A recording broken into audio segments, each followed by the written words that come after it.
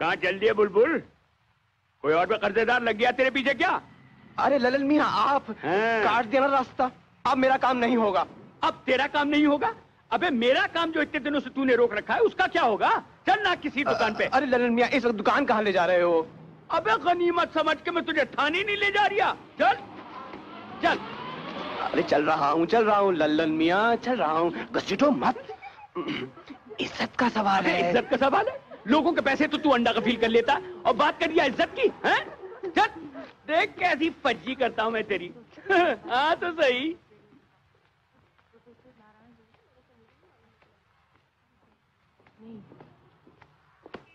आओ भाई ललन मिया हाँ। संभालो अपनी दुकान।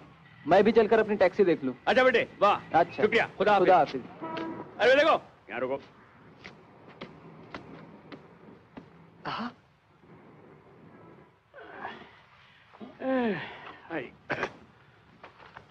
था मेरे पान और लगा चूना।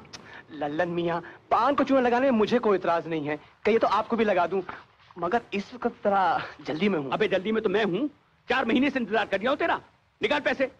अब तेरे होते हैं इसमें सड़सठ रुपए और पचास पैसे। लल्लन मियाँ पचास पैसे तो छोड़ दो। ये किस खुशी में? बारात में आए क्या? निकाल। अरे आ जाएँगे आ जाएँगे लल्लन मिया। पैसे कहीं नहीं जाते। अबे जाने की कौन बात कर रहा है? हम तो इस चीज़ का है कि पैसे आते नहीं है। आएँगे लल्लन मिया आएँगे। आप की कसम। अच्छा इस कत्थे के लोटे की कसम। इस समय जाने दीजिए जल्दी में हूँ। एक लड़की का पीछा कर रहा हूँ। ओफो तो लगा कबूतर। पहले क्यों नहीं बतलाया? कौन सी लड़की और कहाँ दिखी? अभी सड़क से गुजरी। दस मिनट भी नहीं हुए। गुलाबी कमीज और लहरिया दुपट्टा। उस्ताद दिखी थी। और इस बीती जवानी की कसम हमने भी एक ठंडी सी आह भर ली थी। वाह। अमा वो लड़की तो एक जुगनू की तरह यहाँ चमकी और उस नुक्कड़ पे गायब। तो कर लो पीछा। जल्दी से भागो। अरे रुको। साइकिल ले जाओ मेरी। हाँ।